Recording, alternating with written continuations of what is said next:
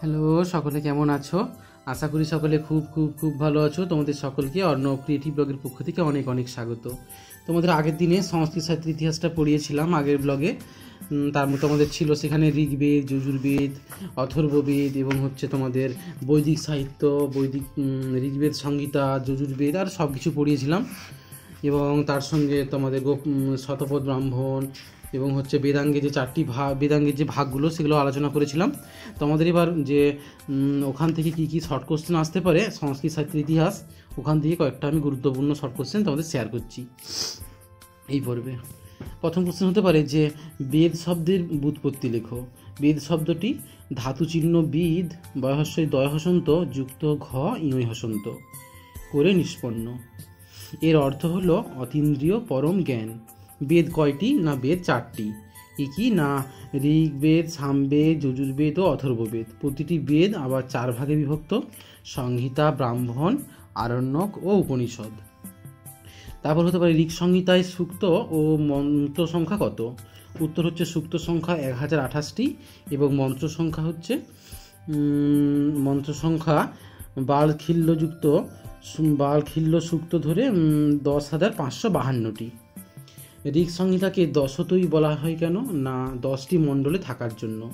আর্যমণ্ডল বলতে কি বোঝো? না, ঋক সংহিতায় দ্বিতীয় থেকে সপ্তম মণ্ডল পর্যন্ত এক এক ঋষিবংশ দ্বারা সৃষ্ট। এই কারণে ছটি মণ্ডলকে আর্যমণ্ডল নামে অভিহিত করা হয়।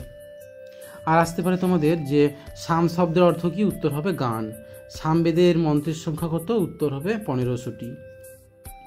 ঋগ্বে যা ঋক সংহিতার অষ্টম ও নবম মণ্ডলের নাম কি? উত্তর হবে অষ্টম মণ্ডলের নাম প্রগাথ মণ্ডল এবং নবম মণ্ডলের নাম সোমমণ্ডল।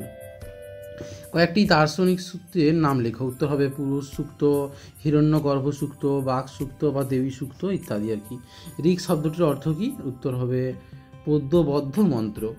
বর্তমানে কটি শাখা আছে? উত্তর হবে দুটি শাখা আছে, সাকল ও বাসকল। সাম সংহিতার দুটি শাখার নাম কি? উত্তর হবে কৌথুম ও রানায়নীয়। সানা শব্দের সাম শব্দের অর্থ কি? উত্তর হবে গান। সামবেদে কত মন্ত্র আছে না পনেরোশোটি? আর আসতে পারে যে যজু সংহিতার কটি ভাগ, উত্তর হবে দুটি। কৃষ্ণ যজুর্বেদ ও শুক্ল যজুর্বেদ। আর আসতে পারে যে শুক্ল যজুর্বেদের মন্ত্র সংখ্যা কত? উত্তর হবে সাতশোটি। এতে কটি অধ্যায় আছে? উত্তর হবে চল্লিশটি অধ্যায় আছে। এরপর হতে পারে যে অথর্ববেদের অপর নাম কি? অপর নাম কি? উত্তর হবে, অপর নাম হবে অর্ধবাঙ্গী রস অর্ধবাঙ্গী রস। আর আসতে পারে এই বেদে ঋষি, দুজন ঋষির ঋষি মুখ্য ঋষির নাম, উত্তর হবে অর্থবা এবং অঙ্গিরা। অথর্ববেদের কটি শাখা ছিল? উত্তর হবে নটি শাখা ছিল। বর্তমানে কটি শাখা পাওয়া যায়? উত্তর হবে দুটি, সৌনক ও পোপ্পলাদ অথর্ববেদে কটি অধ্যায় আছে? উত্তর কুড়িটি। মন্ত্র সংখ্যা কত? উত্তর হবে সাতশো একত্রিশটি সূক্ত ও প্রায় ছ হাজার মন্ত্র বর্তমানে আছে। তারপরে যজ্ঞ কত প্রকার? উত্তর হবে তিন প্রকার, ইষ্টি, পশু এবং সোম।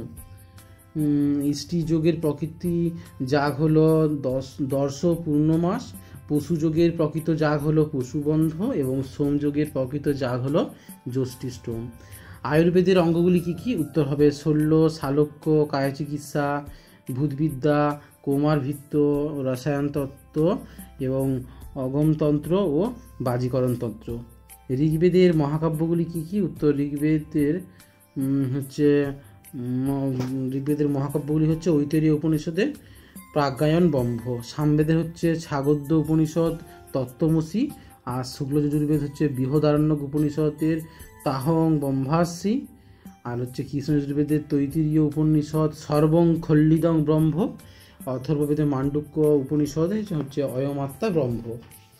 আর আসতে পারে ব্রাহ্মণের কটি ভাগ ব্রাহ্মণের দশটি ভাগ কী কী? উত্তর তোমরা জানো নিশ্চয়ই, বলে দিচ্ছি যে হেতু, নির্বচন, নিন্দা, প্রশংসা, সংশয়, বিধি, পরক্রিয়া, পুরাকল্প এবং ব্যবধারণ ও কল্পনা।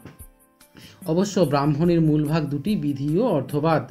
বেদের কত প্রকার স্বর পাওয়া যায়? উত্তর হবে তিনটি, উদাত্ত, অনুদাত্ত ও সরিত আর আসতে পারে যে বেদের প্রকৃতি পাঠ কত প্রকারের হয়? উত্তর তিন প্রকার, সংহিতা পাঠ পদ- পাঠ ও ক্রমপাঠ আর আসতে পারে যে বেদের প্রকৃতি এটা হলো, তারপর আসতে পারে যে ছন্দস ও জ্যোতিষ বেদাঙ্গে বিষয়বস্তু কি? উত্তর হবে, ছন্দস বৈদিক ছন্দকে আশ্রয় করে আছে এবং জ্যোতিষ বেদাঙ্গের বিষয়বস্তু নক্ষত্রবিদ্যা বা জ্যোতিবিদ্যা সামবেদের শিক্ষাগ্রন্থের শিক্ষালয় কি? উত্তর হবে নরদ শিক্ষাগ্রন্থ। অথর্ববেদের শিক্ষাগ্রন্থের নাম কি? উত্তর হবে মান্ডুকী শিক্ষা। বেদ বিভাজন কে করেন? উত্তর হবে মহর্ষি বেদব্যাস। ত্রয়ীবিদ্যা বলতে কি বোঝো? উত্তর হবে অনেকের মতে ঋক সাম, যজু এই তিন বেদকে একত্রে তৈরি বলা হয়। আর আসতে পারে যে বর্তমানে যজুর্বেদের কতগুলি শাখা আছে? উত্তর হবে পাঁচটি। কৃষ্ণ যজুর্বেদের তিনটি শাখা হচ্ছে তৈতিরীয় এবং মৈত্রায়নী এবং কঠ আর শুক্লা যজুর্বেদের হচ্ছে দুটি মাধ্যন্দিন ও কান্ন আর তোমাদের আসতে পারে যে বলছে অথর্ববেদের মূল প্রতিপাদ্য কি? উত্তর হবে যে অথর্ববেদের মূল প্রতিপাদ্য শান্তি ও পৌষ্টিক কর্ম অথর্ববেদের প্রাচীন নাম কি? উত্তর হবে অর্থর্বাঙ্গিরস বেদ কাকে বলে? এটা তোমাদের জানা দরকার, বেদ কাকে বলে? উত্তর কি হবে? না, যে জ্ঞান ইন্দ্রিয়ের অতীত পরম এবং শ্রেষ্ঠ, তাই বেদ। প্রত্যক্ষ ও অনুমানের দ্বারা যে জ্ঞান লাভ করার উপায় নেই, সে অতীন্দ্রিয় জ্ঞান বেদ থেকে লাভ করা যায় তাই এই ধর্মগ্রন্থকে বেদ বলে। উপনিষদের অপর নাম কি? উত্তর হবে বেদাঙ্গ বা ব্রহ্মবিদ্যা। বেদাঙ্গ শব্দের অর্থ কি? উত্তর হবে বেদের শেষ ভাগ। বৈদিক সাহিত্য কয় ভাগে বিভক্ত? উত্তর হবে চার ভাগে মন্ত্র সংহিতা ব্রাহ্মণ, আরণ্যক এবং উপনিষদ। আর বেদাঙ্গ বলতে কি বোঝো? উত্তর হবে বেদাঙ্গ বলতে এক বিশেষ সাহিত্যকে বোঝায়। বেদের সংহিতা, ব্রাহ্মণ আরণ্যক ও উপনিষদ ভালোভাবে পড়ার জন্য। তাদের অর্থ বিনিয়োগ জানার জন্য যে সাহিত্য অপরিহার্য তাকে বেদাঙ্গ বলে। বেদের জ্ঞানকাণ্ড কাকে বলে? উত্তর হবে উপনিষদগুলিকে বেদের জ্ঞানকাণ্ড বলে।